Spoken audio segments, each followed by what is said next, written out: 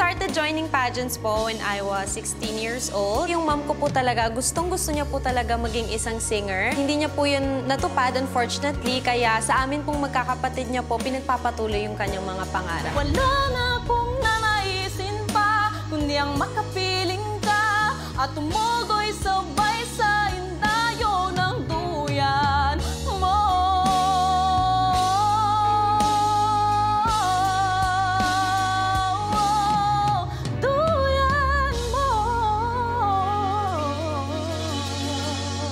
alam mo yung placement mo. Whenever you hit the note, pagka yung da da da da tapos babalik ka sa chest, maganda yung Transition. transition. Na happy ako sa performance mo.